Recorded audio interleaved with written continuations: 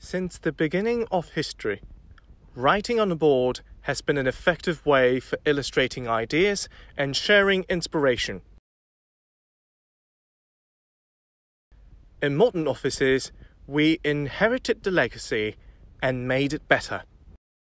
MAXHUB's built-in whiteboard simplifies the meetings we know. Now, writing has been transformed. To launch the whiteboard, tap on the icon from the homepage. On a MAXHUB interactive flat panel, touch on the screen with a finger or stylus to start writing. The icons and tools are arranged on the bottom part of the panel to allow easy access.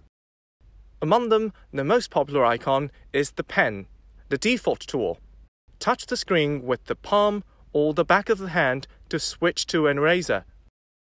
The size of the eraser adapts to how big the hand touches on the screen. Tap the eraser icon and there will be a secondary menu for either deleting specific elements or wiping clean the entire canvas. In addition to the palm erasing, there are more gestures for writing on the screen like zoom in or zoom out with two fingers and drag the entire canvas with multiple fingers. Tap on the ellipses.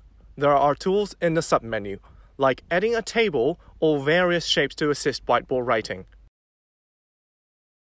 Enabling the Smart mode would convert the hand-drawn shapes into standard ones, which makes drawing a flowchart way easier.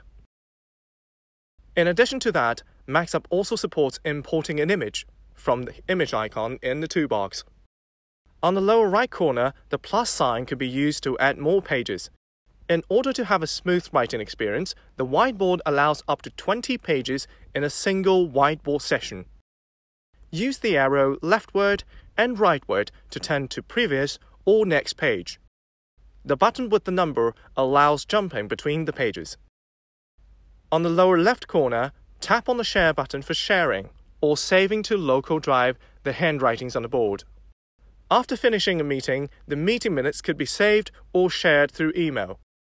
The meeting minutes could be saved in three different formats PDF, JPG, or MAXHUB Whiteboard format MHB, a format which allows future editing. Sending the meeting minutes requires pre-configuring the sending box. After completed the settings, the meeting minutes would be sent to relevant parties to review and follow up the meeting decisions with a few taps. MAXHUB only sends the meeting minutes but does not retrieve any mails from the inbox. Thus, security and privacy could be safeguarded. To quit the application, tap on the exit button on the lower left corner of the whiteboard. MAXHUB Whiteboard empowers brainstorming for local and teleconferences alike. Through a teleconference application, the online meeting participants not only join the face to face conversation but also join the in depth discussion. MAXHUB Whiteboard clarifies the thoughts and inspires collaboration.